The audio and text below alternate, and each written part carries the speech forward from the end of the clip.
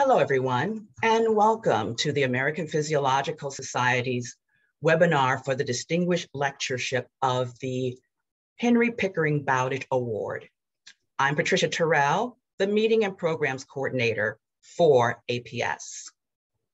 Thank you for taking the time out of your busy schedules to attend the Henry Pickering Bowditch Award lecture titled Nutrient Sensing in the Placenta and Pancreas, fetal programming of obesity and type 2 diabetes. Today's lecture is presented by Dr. Emilyn Alejandro and moderated by our current APS president, Dr. Dee Silverthorn, and former APS president, Dr. Linda Samuelson. Before we begin, here are a few important housekeeping notes. The lecture will be recorded and made available for on-demand viewing within 48 hours of the APS website. To maintain scientific integrity, and respect for our presenters, please refrain from taking photos or videos of this presentation in whole or in part. At the bottom of your Zoom screen, you will find the Q&A and chat features. To ensure prompt receipt of your question, we ask that you use only the Q&A feature to submit your questions, and you may do so at any time during the lecture. In addition, Captions are available by clicking the live transcript icon also at the bottom of your Zoom screen. So without further delay, let's get the webinar started. And I'd like to have this opportunity to introduce Dr. Dee Silverthorn, and she is the Emeritus President at the University of Texas at Austin, and our current president of the American Physiological Society and co-moderator for the. For the lecture. Dr. Silverthorn, I turn it over to you to extend your welcome and introduce our remaining distinguished panelists. Thank you, Patricia, and I will make a small correction, which is I am a professor emerita and not the president emerita for the University of Texas. Thank uh, you. Welcome to the first virtual Henry Pickering Bowditch Award Lecture. Uh, as Patricia said, I'm Dee Silverthorn, current president of the American Physiological Society, and today I'm co-hosting the presentation along with Linda Samuelson, past president of the APS. The Bowditch Award Lecture is one of the top honors bestowed by the APS. The award is named for one of the founders and the first president of the society, Henry Pickering Bowditch. Dr. Bowditch received his medical degree from Harvard and then studied physiology in Europe, first with Claude Bernard in France, and then with Carl Ludwig in Germany. He returned to Harvard as a faculty member, where he mentored another famous name in physiology, Walter B. Cannon. Dr. Bowditch went on to be chair of the Department of Physiology and later dean of the medical school at Harvard. And in 1887, he became one of the five founders of the APS. The Bowditch Award Lecture is named in his honor and started in 1956, and it is presented annually. It recognizes original and outstanding accomplishments in the field of physiology by someone who is no more than 42 years old or who is within eight years of starting their first position after postdoctoral training. To introduce this year's Bowditch awardee, Dr. Emilyn Alejandro, I will now turn the microphone over to Linda Samuelson.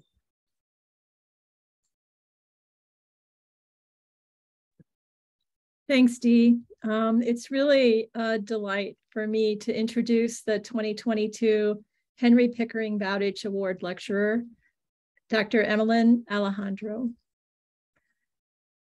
Emilyn um, is the McKnight Presidential Fellow, the Maurice Visscher Biomedical Scholar, and an Associate Professor of Integrative Biology and Physiology at the University of Minnesota.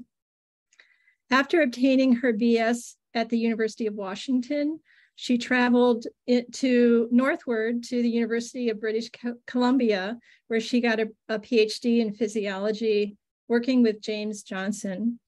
And then came um, to the Midwest, to the University of Michigan to do a postdoctoral fellowship with Ernesto Bernal Mizrachi. She joined the faculty at the University of Minnesota in 2015 and um, has um, established a very successful research program, um, quickly becoming NIH funded and publishing important work in the area of metabolic programming of pancreatic beta cell development. Um, she is um, defining mechanisms um, of how diabetes and insulin dysregulation predispose offspring to metabolic disease. And so today she's going to deliver the Bowditch Award lecture, which is titled Nutrient Sensing in the Placenta and Pancreas, Fetal Programming of Obesity and Type 2 Diabetes. Congratulations, uh, um, Emilyn, and I look forward to your presentation.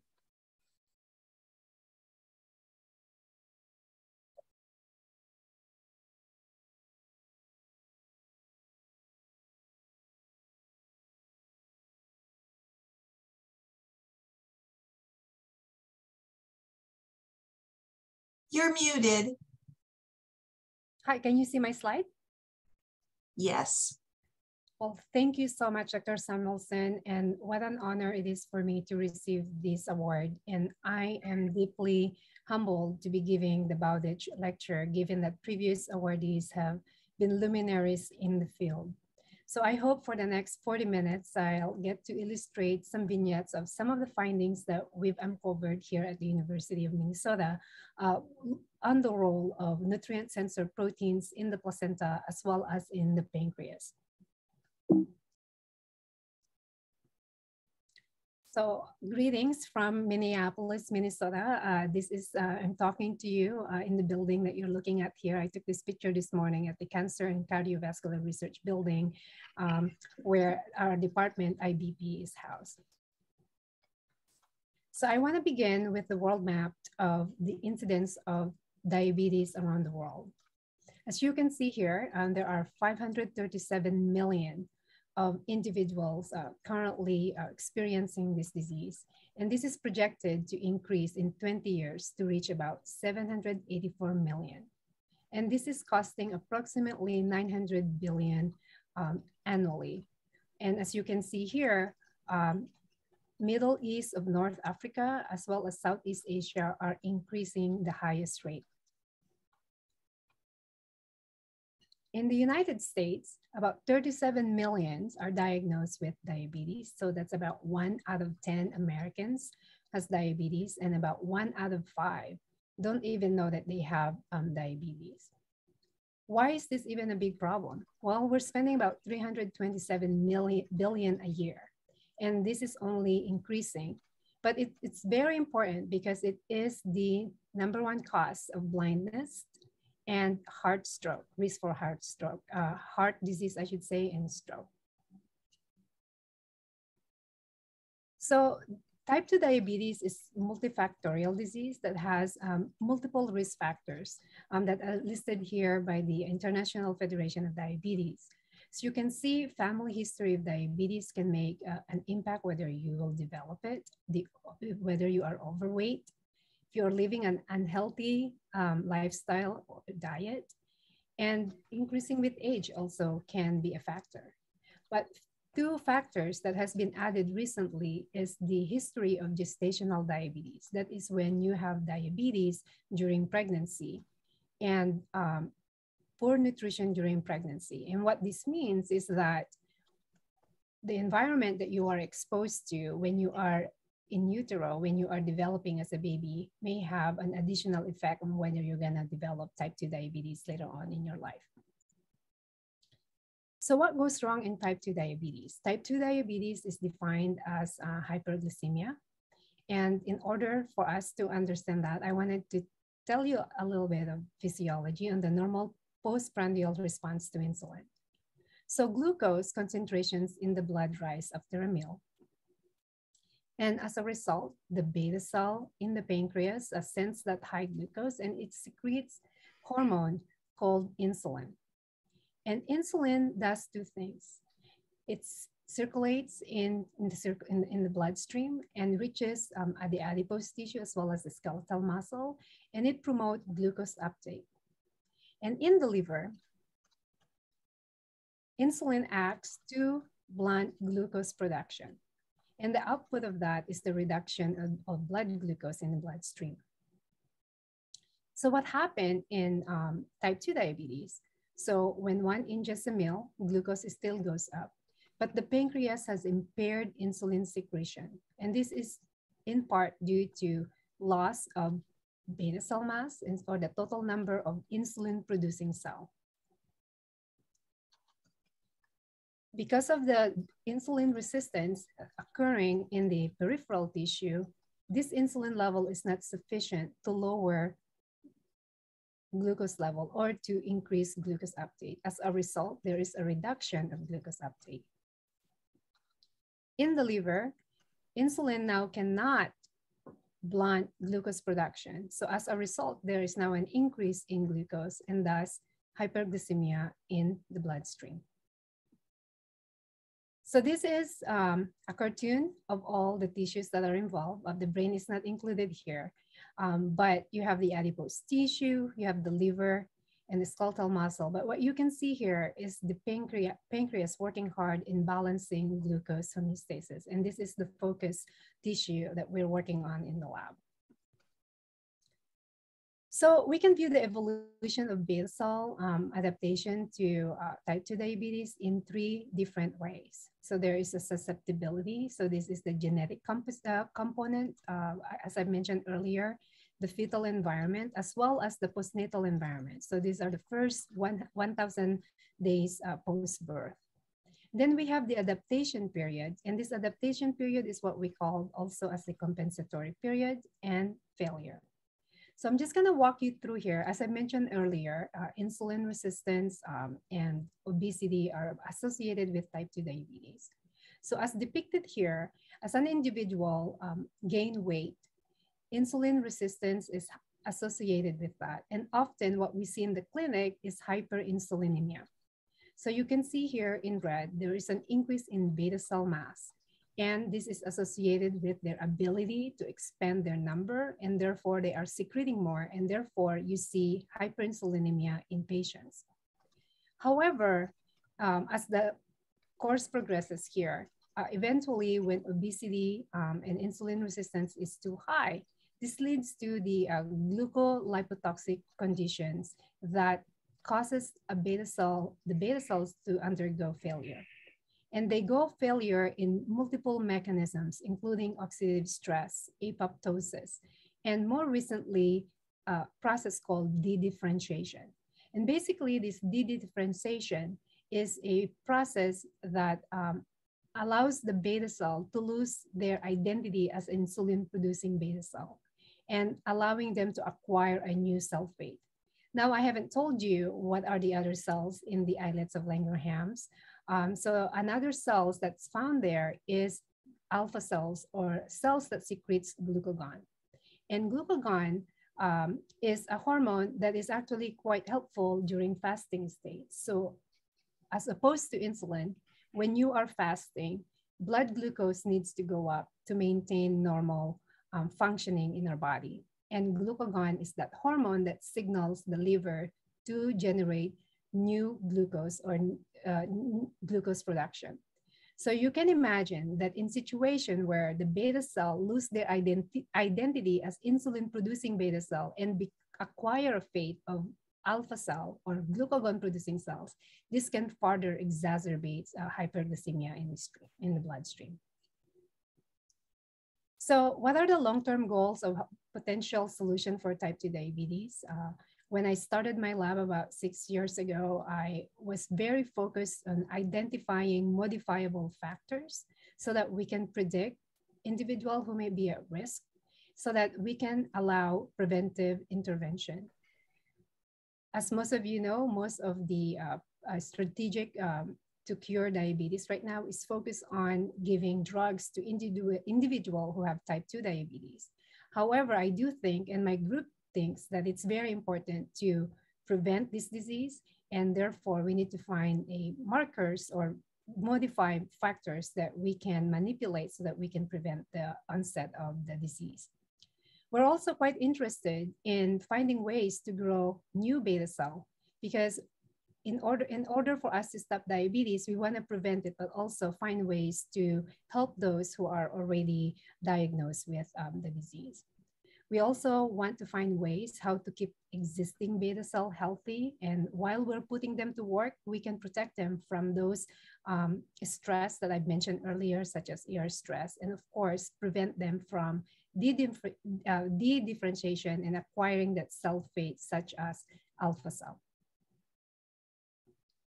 This year, we've cel we celebrated the 100 years um, discovery of insulin, and it's amazing how far we've come uh, in terms of the technology and regulations of uh, glucose um, and with insulin pump. But as you can see here, about 50% of US adults diagnosed with type 2 diabetes still do not um, meet the, uh, the standard goal of acquiring a hemoglobin, hemoglobin A1C less than 7%, suggesting that there's still a lot of work to be done.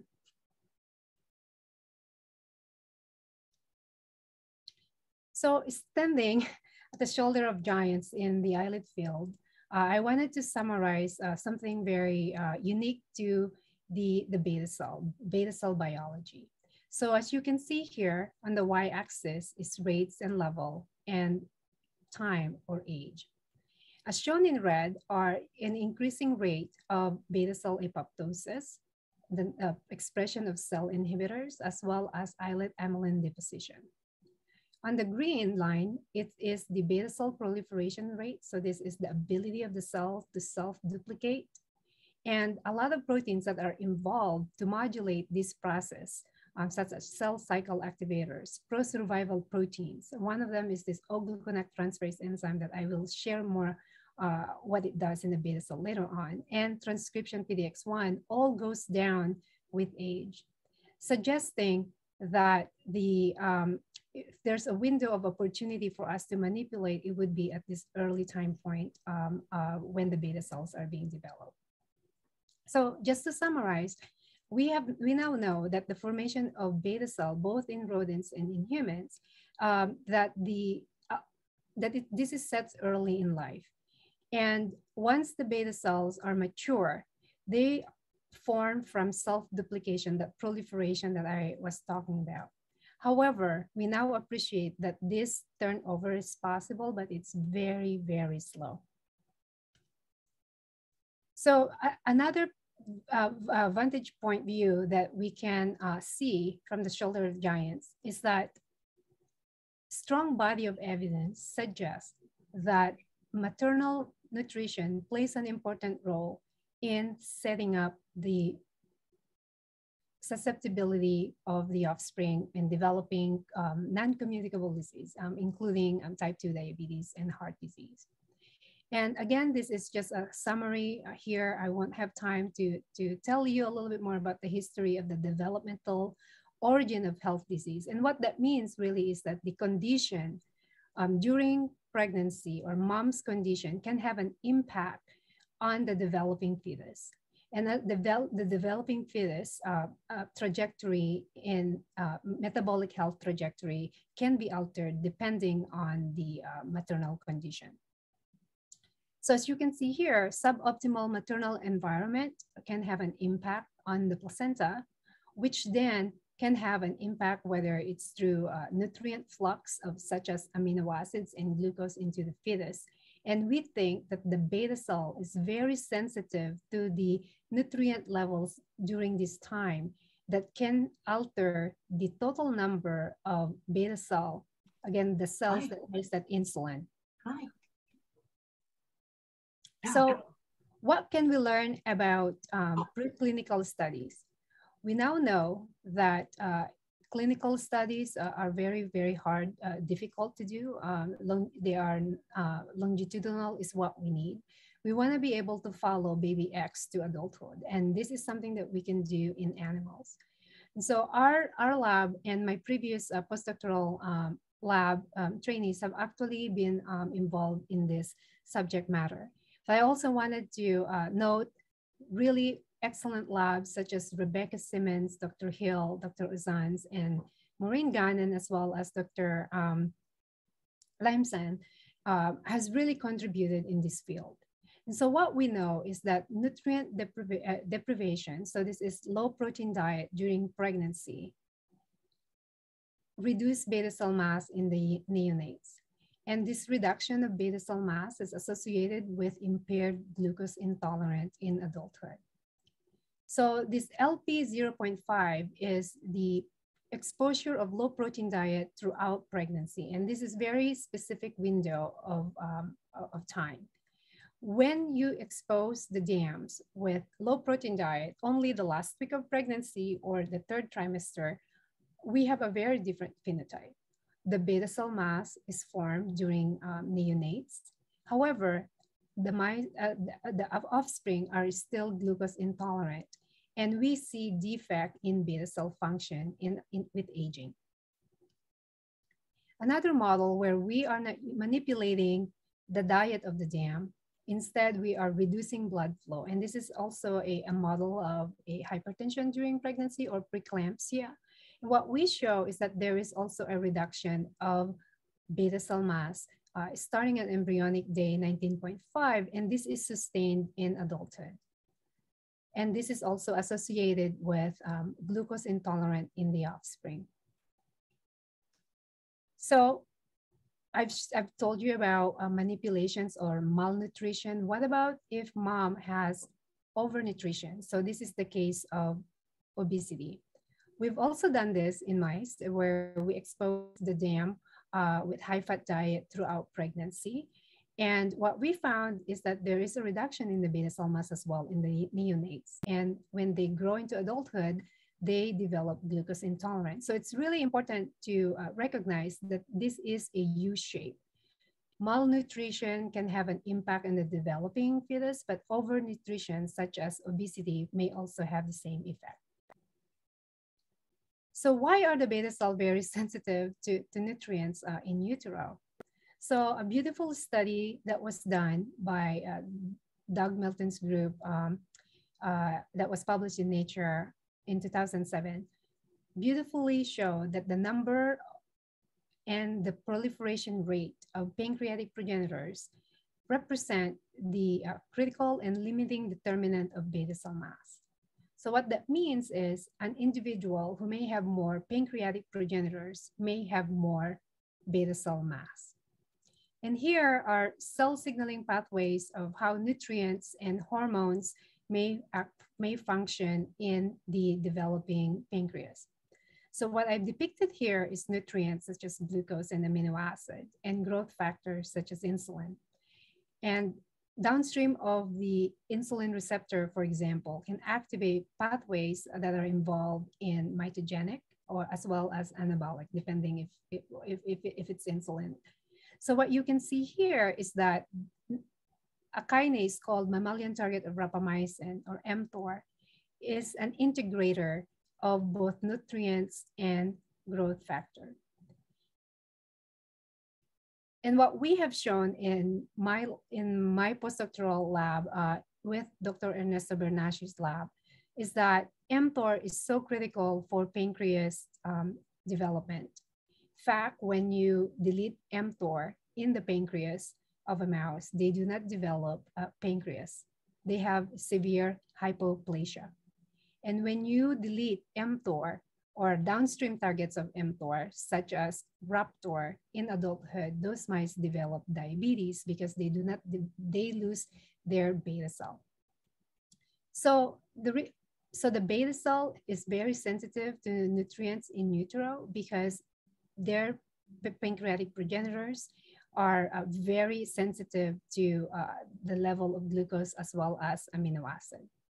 So multiple groups, uh, including um, Dr. Raphael Scharfmann um, and Alonso's group and my former PhD mentor has demonstrated that um, glucose and leucines regulates the, uh, the proliferation rate of, or how the uh, pancreatic endocrine cells uh, differentiate.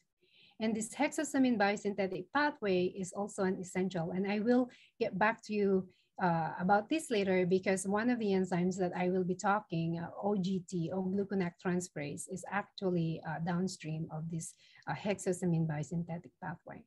So what's really important here to cue in is that uh, the effect of glucose and uh, of glucose is independent of the insulin receptor and that the uh, effects of amino acids as well as glucose may, may be mediated by mTOR um, pathway.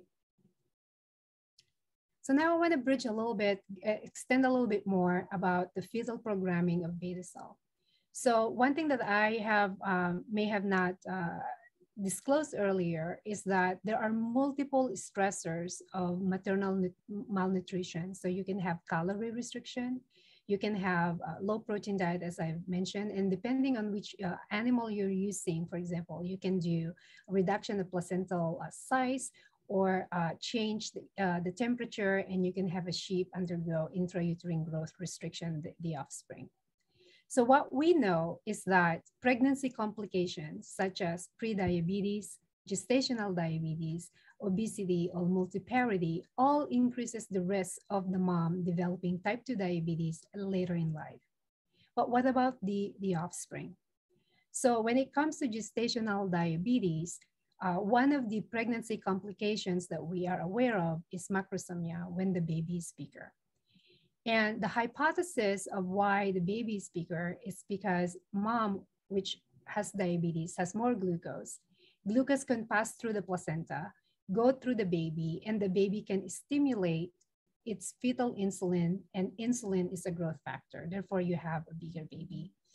And but for a while, and this is something that I something that my lab would like to shed light on, is that there are patients who are uh, have GDM who have controlled glucose, yet they still have macrosomia baby. Not all of them, but some do. And that they also have, the offspring have increased um, uh, adiposity, suggesting that there might be other mechanisms um, that could be uh, affecting uh, the fetal growth of the offspring. And the first thing that we worked on in the lab is also looking at the effect of maternal insulin.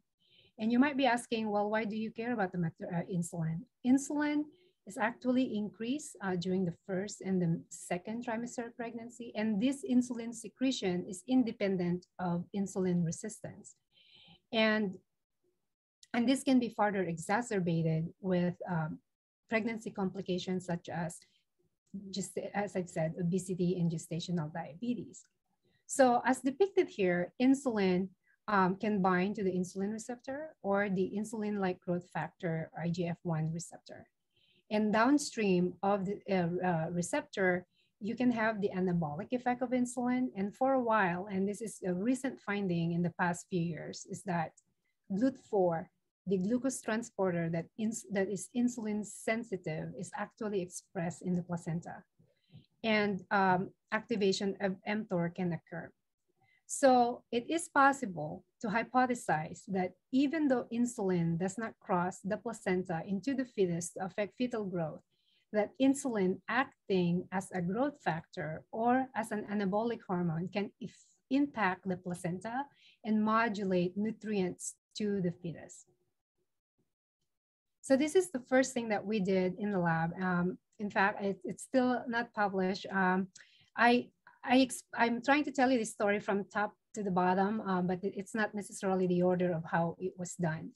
So the first thing that we did is to show that insulin, maternal insulin, um, can program or change the trajectory of the offspring. And I am going to tell you some of the data, two data that we have uncovered from two different models to mimic human pregnancies. So one model is a hyperinsulinemia model that is associated with obesity. So this model is actually uh, first described by my, my mentor, Dr. Ernesto Bernal Mizrachi, while he was a postdoc at WashU.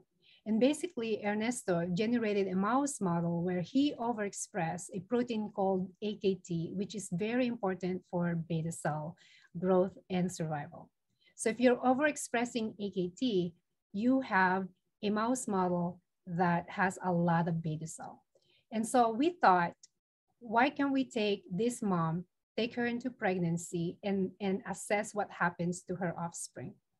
So I will walk you through this one because it's, uh, I wanna make sure this is clear. So we have a wild type and a RIP-AKT. So this is the, the dam that has hyperinsulinemia.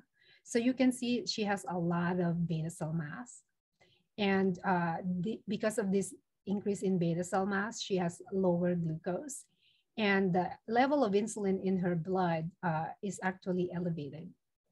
And so, and so when this mom gives birth, she can have two babies. One that is a negative for the AKT, so it's just a normal wild type mouse, or one that has the transgene. So it has the capability of making that insulin, more insulin, just like mom. So when you look at the birth weight, if you take, compare the uh, birth weight of a what we call HIP hyperinsulinemia program, so these are the AKT negative, you can see that they have an increase in birth weight. However, if you have the, the, the RIP-AKT, so this is a mouse that is capable of making its own AKT and was exposed with hyperinsulinemia through the mom, has a higher birth weight. So this tells us that insulin can regulate the fetal, fetal growth of the offspring. But really the questions that we wanted to know is that, okay, we can change the birth weight, but what is the health trajectory of the offspring? And I wanted to uh, define that one way for us of uh, um, uh, measuring what is altered program um, metabolic health is glucose intolerance in the offspring. So now we're just only now focusing between the wild type and the, the hip, which is the uh, offspring that has no transgene, but was only exposed to hyper uh, to hyperinsulinemia. At, at day P36, they have increase in body weight. And this increase in body weight was associated with um, impaired in glucose tolerance. So the y-axis here is the glucose, and this is time. And this is very similar to what we do in the clinic, where we fast the, the patients or the, the, the mice and then give them a bolus of glucose and measure how fast glucose get cleared. And what you can see here is that the control clear their glucose uh, level much faster versus the, the hip, suggesting that they have glucose intolerance. We have another model called um, the beta TSC2 knockout. So this is again a hyperinsulinemia model where we deleted the negative regulator of mTOR, TSC2. So mTOR is a potent activator of beta cell mass. With more mTOR, you have more beta cell mass. But unlike the previous model, this is a model where the mom is lean, but it's hyperinsulinemia. And we ask the same questions, what happened to the offspring? So again, this is just a characterization of the mother um, you can see here that she displays a higher level of insulin during pregnancy. What happened to the offspring? The offspring, just like the previous model that I showed you, developed glucose intolerance. Again, we are looking at the uh, area under the curve uh, and uh, here where the control is shown in the open triangle and the hip, again, the negative um, TSC2, but it's exposed to hyperinsulinemia, developed glucose intolerance again suggesting to us that maternal hyperinsulinemia is sufficient to induce glucose intolerance in the offspring. And it doesn't matter if mom was hyperinsulinemic with obesity or without obesity. So we asked the next question. This is actually done as a thesis of a very talented student, Miss Grace Chong, is she wanted to delete the insulin receptor in the placenta. And I wanted to uh, remind you that the insulin receptor can bind to the insulin receptor, a hybrid with the IG, uh, IGF-1 receptor or through the IGF-1. And both of these can have the mitogenic or growth effect as well as the metabolic effect, which we think could impact the metabolic programming of the offspring. So what happens when we knock out the insulin receptor in a normal pregnancy? This is work done by, uh, as I mentioned, Grace Chong and a postdoctoral fellow, uh, Dr. Roman, um, uh, Ram Kumar Mohan. And we deleted the insulin receptor in the placenta, and we were very surprised to see that there was no change in placental uh, weight or fetal weight, as you can see here. And I was just showing you that unlike humans, uh, within a mouse, you can have multiple offspring and one of these could be a wild type of control. And we will genotype them and basically follow them um, when they get older. And the reason why I also wanted to point this out is that I wanted to remind everyone what is fetal programming means. It means that we are manipulating during a very specific time. So during pregnancy, and then ask the questions what happened later, many, many months later into that offspring. So there's no change in um, the uh, placental weight as well as in the fetal weight here, but we're showing that there is a reduction of the insulin um, receptor mRNA. What happens to the beta cell? The beta cells is actually quite normal. There was nothing that we can uh, detect that is different, difference between the control or uh, another mouse that lacks the insulin receptor in the placenta, both in the male or in the female. And we followed this offspring in adulthood and asked the question, do they develop glucose intolerance or protective given the, uh, the, the, the uh, information that we got uh, when mom has a lot of insulin or hyperinsulinemia. What we found actually is that there was no phenotype that we can discern. And the only phenotype that we had or Grace detected is that there is a protection uh, increase in insulin sensitivity only when mom has had a pregnancy greater than three. So this suggested to us that deletion of the insulin receptor has a beneficial effect if mom is experiencing um, some metabolic um, dysfunction that is associated with parity or having multiple pregnancies. there was no phenotype, as I told you, in normal chow diet. So we asked them, what happened if we challenge them in have high fat diet? And what you can see here in, in A is a glucose tolerance test again. But I again, I wanted to show you that this is the control in the, um, in the open triangle and in the filled triangle are offspring that lacks the insulin receptor. So what you can see here is that those offspring that experience deletion of the insulin receptor have improved glucose tolerance. Uh, and what's interesting is that we only saw this in the male and not in the female offspring. So another group has actually done this, and this is something that we're uh, trying to understand more, is that multiparity, which is very difficult to test in, in human, but we can do this in animals, so we can actually ask the questions, what happened to the metabolic health of of the offspring when they are the first uh, litter or they are from the fourth pregnancy. So this is actually done by Dr. Wolit's group. And what they show is that the offspring of dams that have been born from fourth pregnancy have glucose intolerance. And this is our GRACE data. And what we found is that if you're comparing the level of insulin between first and third pregnancy, it's actually elevated during third pregnancy. So we can only posit that in multiparous dam, they are experiencing hyperinsulinemia.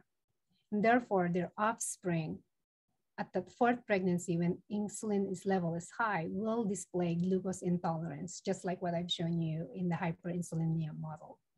So we wanted to do, uh, uh, to make sure that this is a, a parity. So Grace set up another cohort of mice and ask the question, is there a difference between an insulin receptor knockout offspring during first pregnancy versus third pregnancy?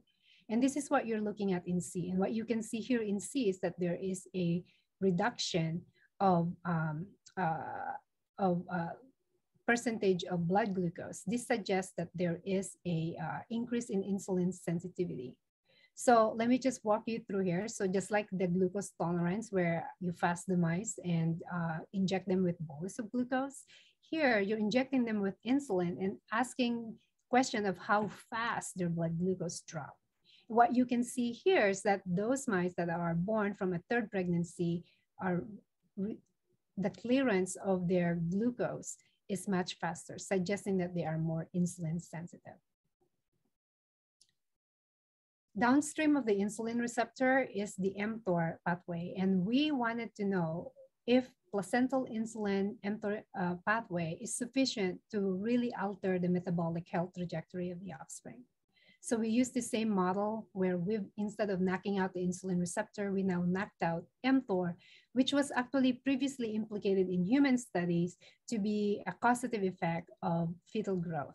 There are beautiful work that has been done in humans where bigger babies have more mTOR signaling in the placenta and smaller babies have less mTOR signaling in the placenta. But all of these are associations. And we wanted to test this using genetic mouse model and we deleted mTOR in the placenta.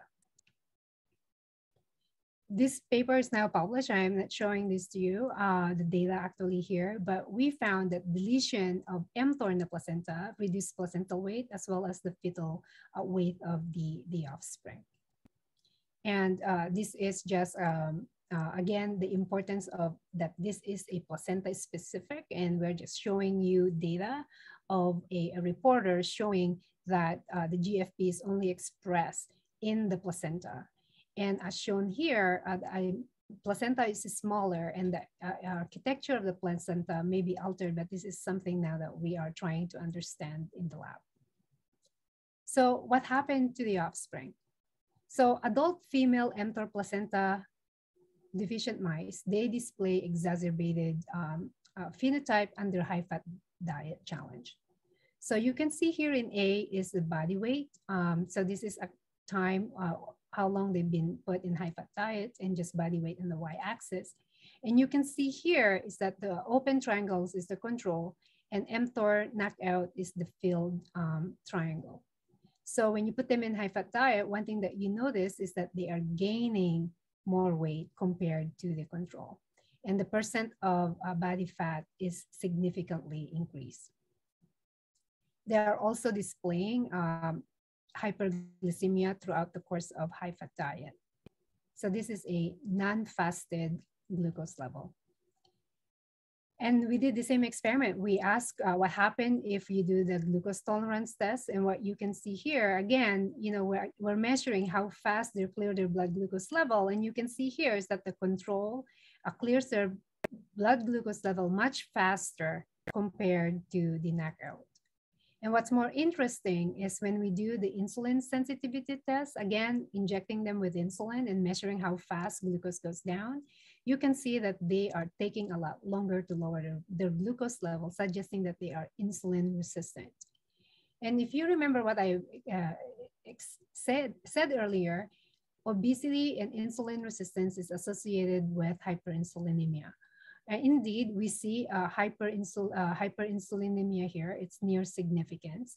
Uh, however, the level of insulin resistance, uh, we should have expected more insulin suggesting that there might be a, a defect in the pancreas. So you can see here, um, we actually measured this, the amount of glucose, uh, uh, treat them with glucose and measure the amount of insulin that they're secreting. Um, and because they've been in high fat diet for such a long time, we can't really tell a difference uh, between the control and the knockout. But what's so evident to us is that the uh, number or the uh, beta cell mass between the control and the knockout is not changed, suggesting that there might be a defect in the ability of the beta cell to compensate for this insulin resistance. We, because we're trying to show causality here, we did the opposite, where we now deleted a negative regulator of mTOR called TSC2. So the effect of this is to increase placental mTOR. And we asked the question, what happens when we put them in high-fat diet? So you can see here, again, the control uh, in the open diamond versus knockout uh, filled diamond. So the filled diamond, those are the mice that have increased mTOR C1. And what you can appreciate here is that throughout the course of high fat diet, that they are resistant in, in, in gaining weight. And when we did the glucose tolerance test again, unlike the mTOR knockout, these um, mice that have increased mTOR signaling actually have a lower area under the curve in their IPGTT, suggesting that they are more uh, glucose tolerant. When we test insulin sensitivity, we can actually discern between the control and the knockout. But what's clear to us is that they are um, have lower level of insulin uh, in the circulation, suggesting that they may have a improved insulin sensitivity. And throughout the course of high fat diet, and you can see here, random versus fasting, the mTOR um, or the TSC2 are not increasing their insulin at even at 12 weeks uh, of high fat diet, both in, in the male and in the female. So to summarize, I wanted to uh, remind everyone that uh, I've shown you that maternal hyperinsulinemia during pregnancy is sufficient to program glucose intolerance only in the adult male offspring, and that the placental insulin receptor ablation improves glucose tolerance only in multipair SNAM, and that deletion of mTOR causes, increases the susceptibility of the female in developing obesity and insulin resistance, and vice versa if we increase placental mTOR uh, in the placenta and the offspring now have improved insulin sensitivity and in part because they are not gaining weight and we don't know the mechanisms of how that occur but we are testing the possibility that they're because they are not making insulin during uh, the course of obesity this is helping them in staying um, uh, insulin sensitive so I want to circle back uh, in the very beginning where I've said why the beta cells are very sensitive to nutrients. And we, when we did actually the low protein diet during pregnancy, uh, we found that the reduction of beta cell mass and insulin secretion was associated with very specific sets of proteins that are critical for beta cell health. And one of them is the PDX1, a transcription factor that it's dubbed as the master regulator of the pancreas, deletion of this transcription factor PDX1 causes pancreas hypoplasia. mTOR, again, the mammalian target of rapamycin, also causes hypoplasia. And now I want to talk to you about a protein called O-gluconac which is also a nutrient sensor protein.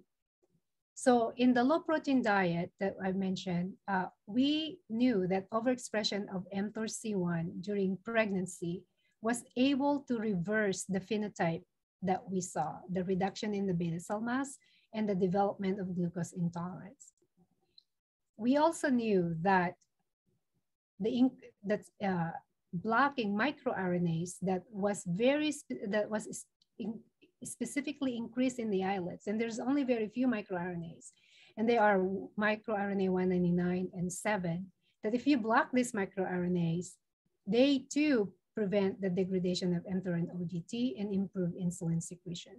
So when I started my lab, I also became very interested in this other nutrient sensor protein called OGT and what is it doing in beta cell development and function.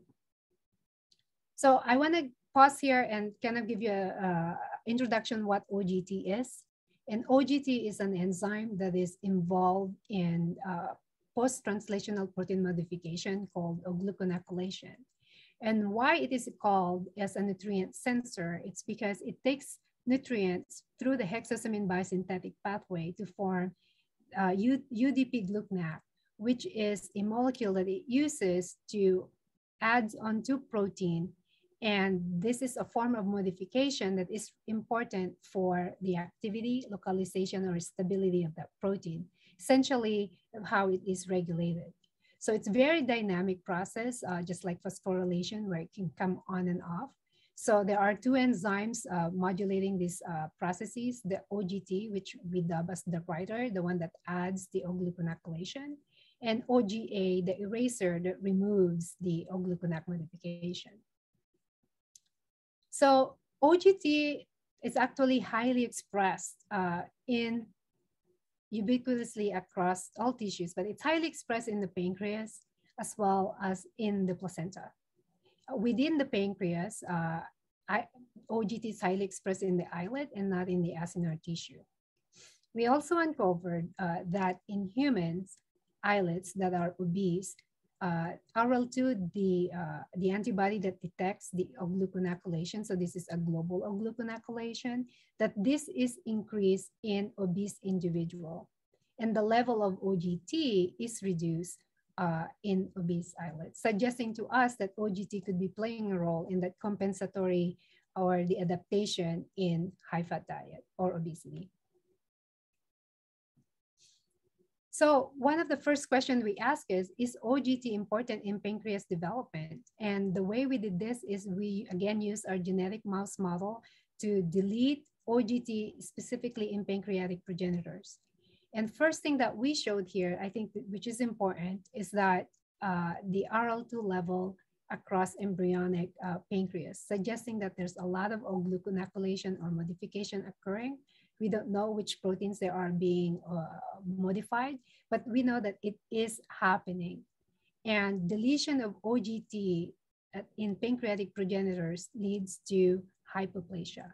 Here's a normal pancreas where you see this white tissue that is the, the pancreas, where that in the OGT knockout that is completely uh, lost. And these are just the images of uh, pancreatic beta cells, the developing pancreatic beta cells. And what I hope you can appreciate here is that between the control and the knockout, you don't see the formation of insulin producing beta cells shown in red and PDX1 uh, in green, which is a marker for mature beta cell. So what you can see in the OGT knockout is that there's a significant loss of beta cell, not only beta cell, but also glucagon we deleted OGT at a later time point. So instead of embryonic day nine, where the pancreatic progenitors are PDX1 is being expressed, we deleted it at a later time point. And what we found is that they are still there. So OGT deletion in the islets or the endocrine progenitors does not impair pancreas developments, suggesting to us that the OGT is much uh, playing an important role in an earlier time point. But I wanted to say that even though the beta cells are there, uh, when these mice, uh, I will not show you the data, but when they get to day 30 to 60, they develop severe diabetes because OGT becomes very important in the function of the beta cell. We also deleted OGT directly in insulin producing beta cell. And what we found is that OGT developed diabetes OGT knockout develop diabetes. So you can see here the control, this is glucose across time. And you can see that the OGT knockout developed severe hyperglycemia. This severe hyperglycemia was associated with beta cell death. And prior to the onset of hyperglycemia, we see an increase in ER stress. And you can see here in the electron microscopy uh, um, images, uh, you can see uh, control versus an OGT knockout. And first thing you see is that there's not a lot of insulin granules. And uh, here's an example of a distended uh, ER, suggesting that these mice are uh, uh experiencing ER stress prior to the hyperglycemia that then lead them to develop diabetes. In addition to uh, loss of insulin content, uh, we also identified that OGT is playing an important role in the processing of insulin. So insulin is processed from proinsulin to insulin, and a protein that's involved in this process is called carboxypeptidase E. And carboxypeptidase E is reducing the OGT knockout. Uh, you can see here, uh, first of all, in A, there's a reduction of insulin content. There's an increase in proinsulin. So that suggested to us that there is a processing um, uh, problem. And one of the proteins that's playing an important role is this protein called CPE and it's reduced. And you can see here that this is about 50% reduction. But I wanted you to appreciate this reduction because even though it's 50%, these are mixtures of cells. Remember, in the islets of Langerhans, about only 80% of the cells are beta cells, and you have the alpha cells and delta cells and other cells. But if you do immunostaining, what you can see here is that in the control in the top, and OGT knockout at the bottom. And you can see insulin, use CPE, which is both expressed in the beta cell and as well in the alpha cell. But you can see that it's specifically lost or reduced in the beta cells of the OGT knockout. And the other thing that we did, uh, a, a, very talented student, uh, uh, Joe, he actually overexpressed uh, CPE uh, in the uh, OGT knockout, and we can rescue the phenotype of proinsulin. You can see a significant reduction between the OGT knockout versus the uh, OGT knockout with CPE. So putting back CPE, we were able to reduce uh, proinsulin level. So it's being processed properly as is insulin. we also identified the mechanisms of how this occur. Uh, uh, OGT, uh, there was the reason why in the OGT knockout, CPE was uh, reduced in part because of an indirect way which OGT actually O-gluconacolates a protein called EIF4G1 that's involved in specific translation of CPE. And what we found is that if you, uh, that like CPE, EIF4G1 too is reduced in the OGT knockout.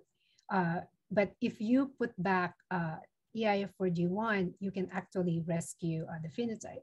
So this has been published, but I wanted to just share with you that the importance of the, because we tried to find what is the importance of the gluconacolation on this protein. So we actually have a control, wild type, and mutation uh, from a serine to alanine where the gluconacolation can take place. What we found actually is that in terms of the CPE protein level, gluconacolation is not important. It's because both the wild type or the mutant can increase CPE level. And as shown here, uh, again, you have the OGT knockout. And if you give them uh, EI4G1, we can bring up CPE. But this has nothing to do with the, the, the gluconacolation of this um, uh, of EI4G1 the gluconacolation of EIF4G1 by OGT is uh, affecting its stability, but not its ability to affect the translation of CPE. So another student in my lab, uh, Dr. Amber Leclerc, who is now a postdoctoral fellow at the NIH, was very interested in the role of OGT in that beta cell adaptation phase or compensatory phase uh, during obesity. And normally during obesity, as I mentioned earlier, uh, there is an increase in insulin secretion to compensate for that insulin resistance.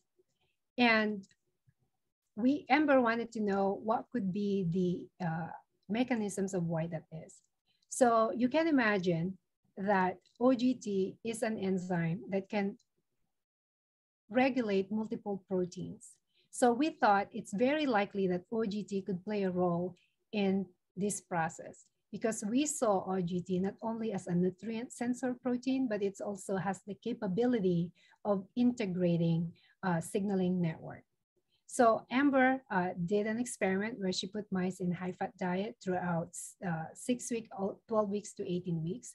And she measured again um, RL2, which is the global detect uh, antibody that can detect uh, O-gluconacolation.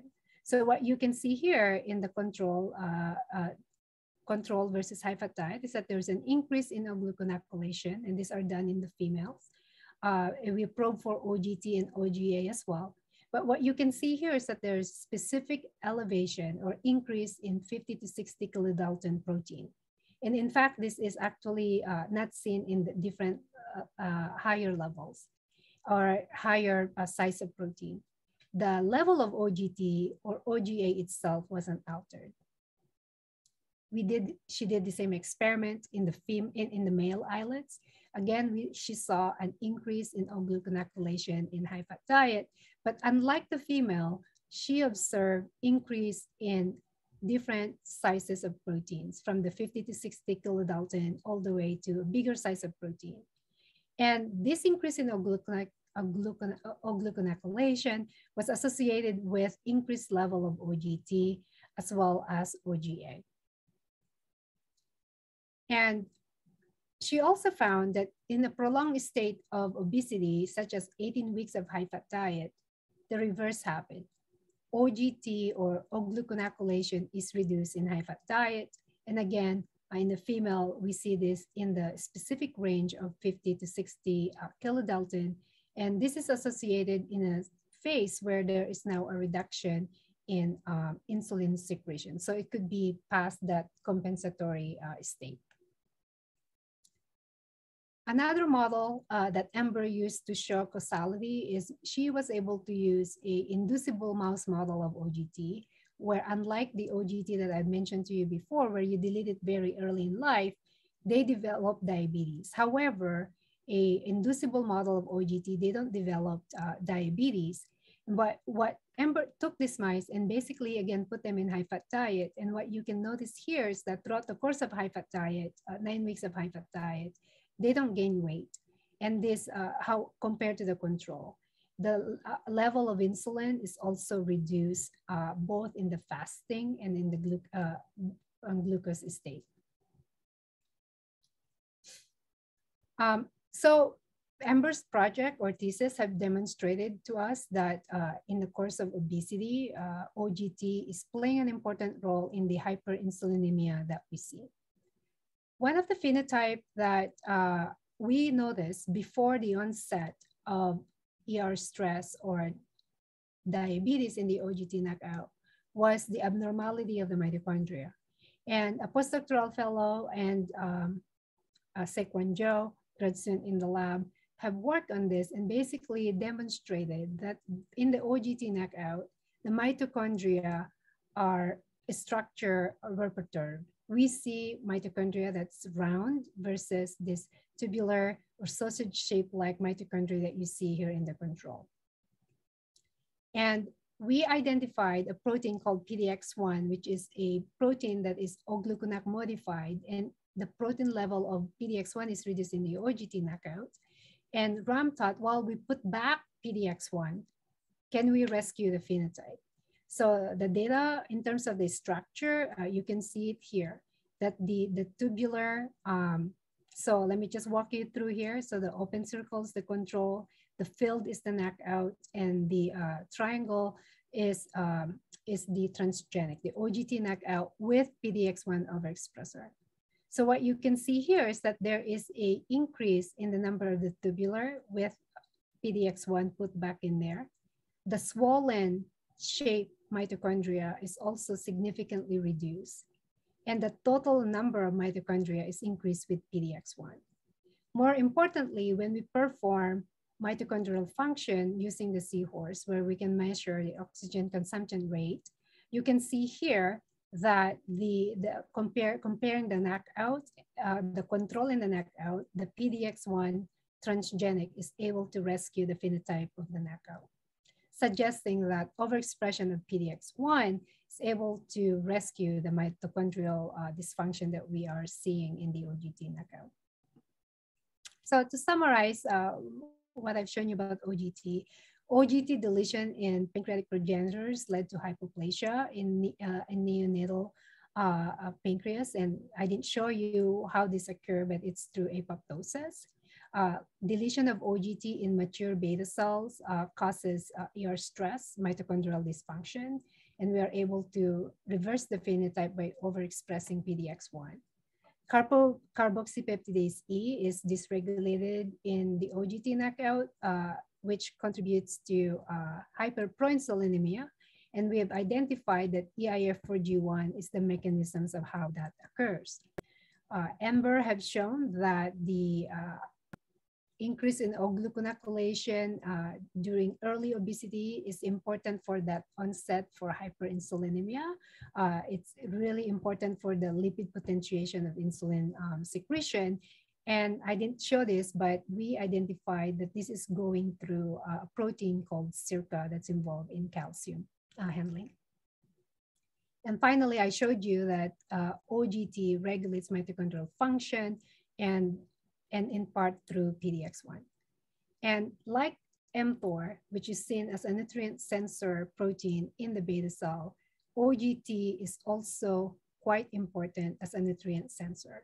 Uh, we are now studying, um, uh, we now have, I should say, studies ongoing that's looking at how potentially OGT could regulate uh, or crosstalk with mTOR.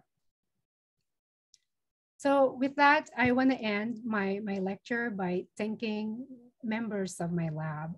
Uh, we started in 2015 and what you're seeing here in the screen are the trainees that I, have had the privilege of working with. I have a senior scientist, Dr. Eric Gustafson, who is a phenomenal electrophysiologist, postdoctoral fellows uh, who have trained and who are now, some of them are doing their own uh, independent work now are still continuing um, their training because they are clinical fellows.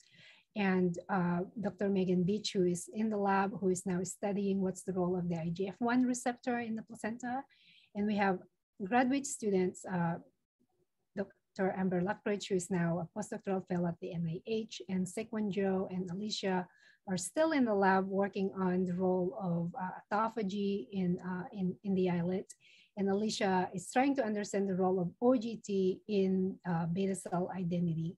We've had uh, very uh, talented post-baccalaureate who are on their way to graduate school. Uh, Mr. Uh, Daniel Bauman, who is now a fourth year PhD grad student here in our department, and Brian Akapong, who is excited to start graduate school um, in the fall. And I would like to thank our collaborators. I, I work very closely with Dr. Jean Riegel and Dr. Ron Riegel, who is a biostatistician at the University of Minnesota in Duluth. I have, I received good mentoring and I really enjoy uh, speaking with Dr. Uh, Bob Sorensen, who is well known for his work in islet biology or islet uh, in pregnancy. And I'm very fortunate to have collaborators uh, from the Philippines, uh, Dr. Maria uh, Pineda Cortel, who has introduced me to placental um, samples there in the Philippines, my home country, and Dr. Sarah Wardemont, who is here at the University of Minnesota, because we're also establishing a cohort of patients here uh, in Minnesota as well. Uh, we collaborate with Dr. Christina Wu and other Oglokoonak folks, uh, Dr. Uh, John Hanover, who have given us the OGA mice and we're, we're still phenotyping them out. I still collaborate with my mentor and uh, colleagues from Michigan, uh, Bridget Gregg and uh, Dr. Singer. And I also wanted to thank our core, Dr. Alessandro Bartolomucci and Dr. Pilar Guzman, who does a lot of our, our animal work um, in terms of um, surgery. So thank you. And again, I a lot of the work that I presented to you would have not been possible without the dedication of, of, of, my team. And I thank them for their dedication to science and their commitment to doing good work and really doing uh, good science. And with that, I want to thank my uh, funding that has supported our lab through the NIDDK as well as the NICHD, the Regenerative Medicine Minnesota, as well as the McKnight Foundation here, and my trainees are funded through T32s or F31 through the NIH. And I also just want to give thanks to my mentors who have given me um, the path to uh, science. Uh, I want to thank Dr. Oka Lenmark, who gave me uh, the opportunity to enjoy science. He actually sent me to Sardinia, Italy, and that was it. I just fell in love with science and I said I can travel. And of course, that was uh, solidified when I worked at the NIH with Dr. Elise Cohn. And I want to give a special thank to uh, Jim Johnson, who, who took me uh, under his wing and um, basically trained me. Um, and I'm still working on insulin, Jim. And of course, uh, Ernesto Bernal Misraki, um, he has been an excellent mentor and I wouldn't be here without him. And I've had so many mentors. When I came to the University of Minnesota, I was very fortunate to have individuals who didn't know me before and they were ready to mentor me on the go. And I want to thank Dr. David Benlor. He was my KO1 mentor and my chair department, Dr. Um, Joseph Metzger, and of course, Dr. Jean Riegel for their support. I also want to thank my big family, my mom and dad. Um, this was taken a few years ago when we have our big anniversary, family anniversary. I just want to thank them for their love and support. And finally, I want to thank the loves of my life, uh, my husband, um, Mark Igonia, for being the best husband and dad, very supportive. Uh, I just love him so much. And my two girls, Mira and Kaya, for my source of inspiration and joy and for keeping us uh, on our toes. Uh, we love living here in the state of hockey. And so both of my girls uh, plays hockey. And with that, I want to thank you all for uh, this opportunity again. Um, what an amazing experience for me to be giving this Bowditch lectureship and now Thank you, and I'll take any questions that you may have. Thank you so much, Emmeline. And we would like to present you on behalf of the APS with this memento. Um, and it was a fascinating story of how important clinical research, uh, basic research is to clinical medicine. Uh, we are over time, but we are going to go ahead and let you answer some questions for those who can hang on and, and listen. And Linda will take over the questions. So one of the questions um, is something that you touched on just at the end. And I don't know if you have any insights into how OGT and mTOR may interact with each other. Um, do you, you know, obviously you said you're starting to work on that. So you must have some thoughts about um, uh, how they interact to regulate beta cells. Very good questions. I, I will, I just didn't have time to put the data today. Uh, the thesis of Sequenjo is looking at specifically how, well, one of the phenotype that we saw in the OGT knockout was increase in autophagy. And this increase in autophagy was associated with reduction of downstream targets of mTOR.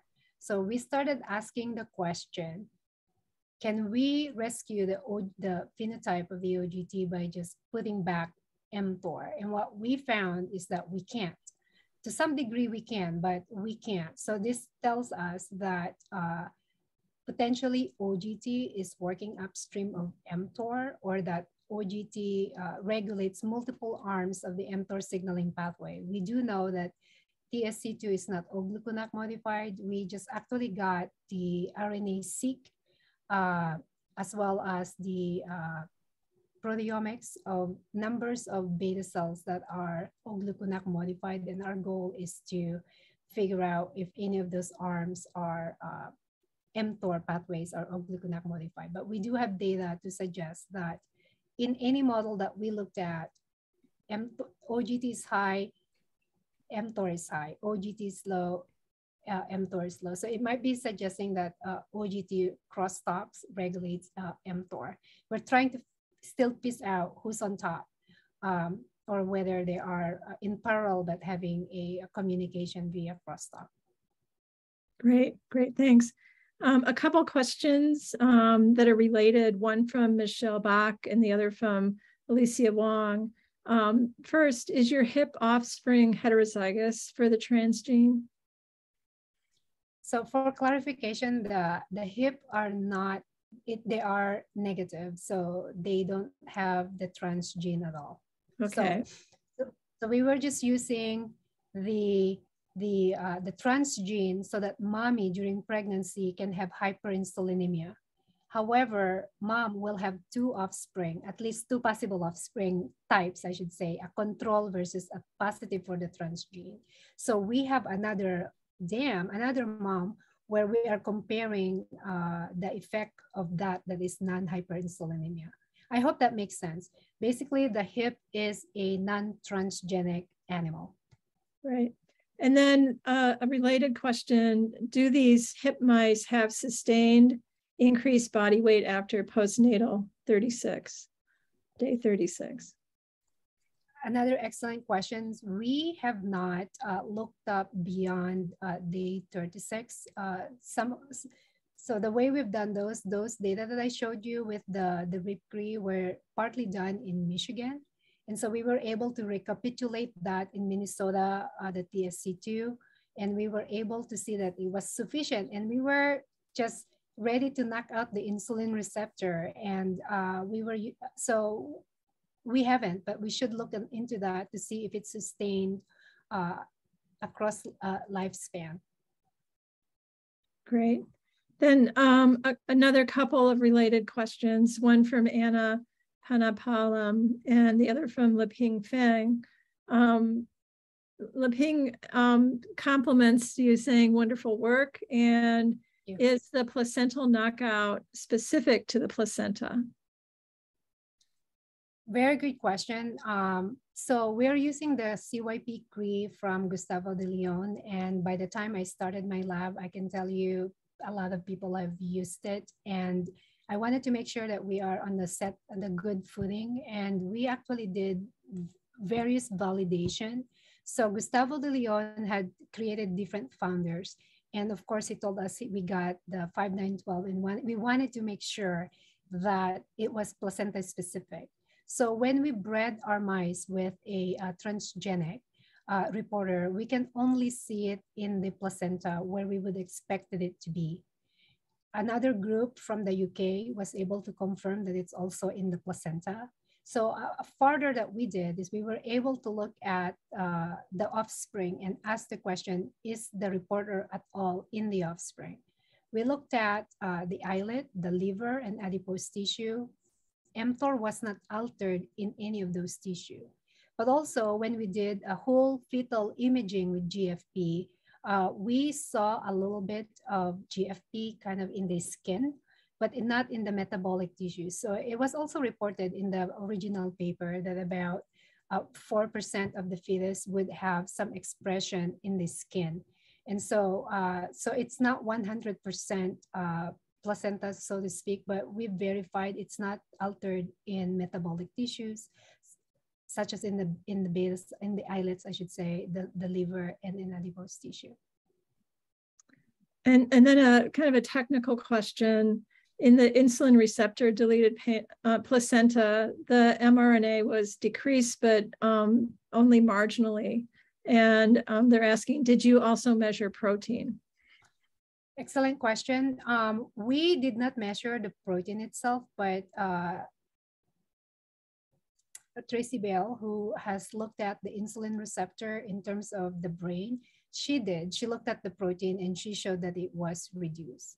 So most so most of these transgene, uh, the, uh, Cree how it works is that you're not really deleting the mRNA, but you see reduction. It's because you are basically, uh, you are technically just mutating parts of that gene and then they are that it's so essential for the translation of that protein. But so when you're measuring for the pro, for the mrna what you're seeing is expected it's about 50% reduction.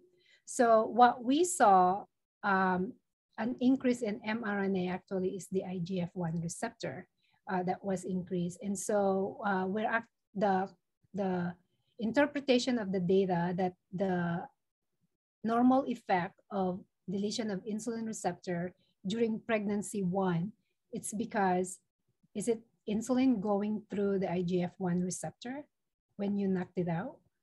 Or perhaps you can think, and we know that uh, insulin receptor and IGF-1, those are additives effect, but perhaps only in metabolic uh, dysfunction such as, such as hyperinsulinemia that you see a beneficial effect of removing or blunting insulin signaling in the placenta. Great, thanks. And then um, one other question that's maybe a little bit more of a, a broader question for you to comment on. Um, how can we take species differences into consideration in pancreatic studies using mouse models to address human diabetes? Very good questions. There are different um, difference i mean there are difference in terms of the biology we think in terms of human uh, beta cell versus mouse beta cell. So the for example uh, like placental lactogen for example during pregnancy has been shown to pro, to promote beta cell proliferation in a rodent but that may not be the case in in, in human uh, so most of the things that we do in the lab, and typically most labs do, is that when you find something so critical or it's occurring in a mouse model, the idea is to repeat that in a human um, beta cell to see if that is consistent.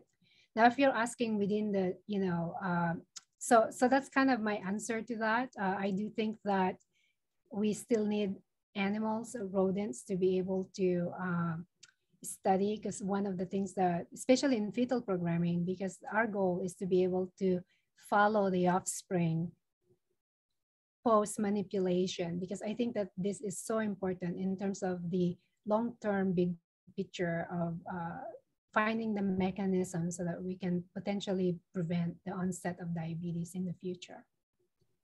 Great, great. Yeah, uh, and that's the end of the Q and A questions. But I I have a question about your placental mTOR models. And maybe you showed this and I missed it, but do you see um, differences in beta cell mass in the um, when mTOR is manipulated in the placenta?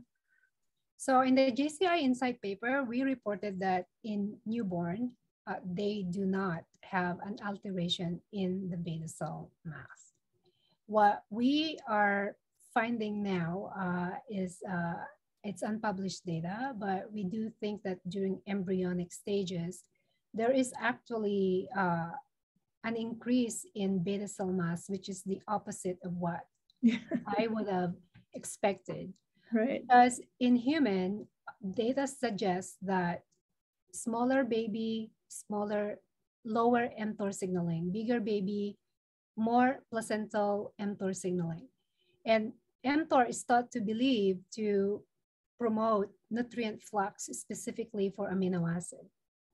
So the idea, if you knock out mTOR, we think that it would be lower amino acid, therefore lower amino acid going into the the pancreas of the baby, lower beta cell mass. But where we're finding actually is that there could be a compensations happening. That the, the transporters are uh, like GLUT1, for example, is increased in the placenta of the mTOR knockout. So that could potentially be affecting, but but at newborn, there's no difference. But what we are, I think what we are affecting is how the beta cell are sensing nutrients. It's not, so let me rephrase. The manipulation of placental mTOR, at least from the newborn, we don't think it's affecting their total number. What we think is happening is how they are functioning, how they are sensing nutrients. And that's something that uh, we are focusing on um, right now. Uh, we do think that that's where the effect of the placental mTOR is in the beta cell. Great. So um, I'm going to turn turn the mic over to Dee, who can ask whatever questions she has and close us out. I mine is going all the way back to your beginning uh, slides about diabetes and obesity in humans, but we have so many young women that are concerned with uh, managing their weight during pregnancy because of the body consciousness. They don't want to get fat. Are there any observational studies about later development of type 2 diabetes in the offspring of uh, young women that are well nourished but choosing not to gain weight during pregnancy?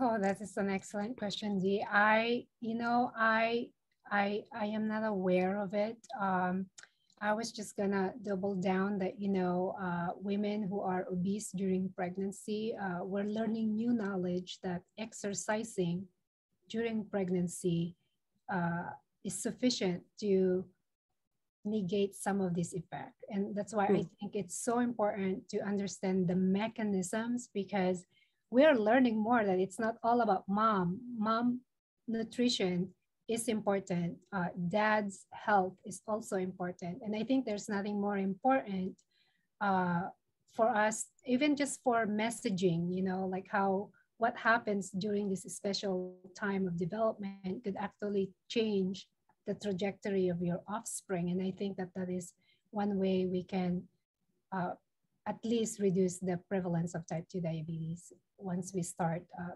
thinking that way um, for the generations uh, to come.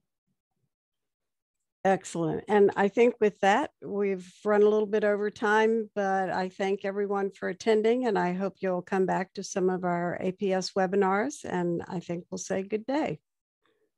Thank you.